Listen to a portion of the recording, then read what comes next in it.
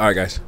I wanted to bring to you the top three things I've seen that people forget to do always when buying a car. All right, these three things are the most common mistakes that people make. They for they overlook, they forget to look for. So I'm gonna bring them to you so you won't make those same mistakes. All right, guys.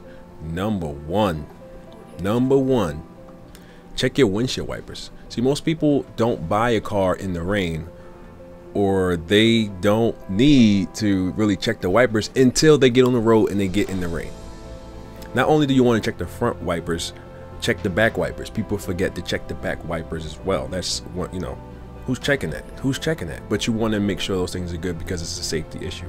All right, sometimes the wipers are working, but the wipers aren't even that good. You ever get on the road and the windshield wipers don't they they're not even good. So safety issue, you don't want to be in an accident on the road having the windshield wipers not good, especially in your brand new car. All right, guys. So number two, most things I see people forget to check is the lights.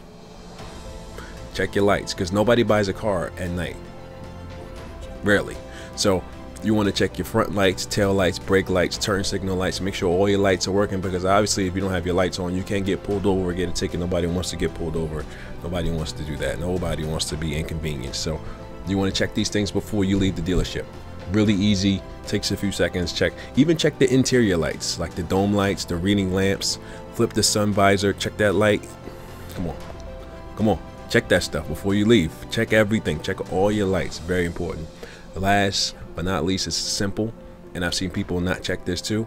You want to check all your windows. Not only, most people check the driver's side window, but you want to check the back window. Check the sunroof, all right? Check all your windows make sure all your windows are working.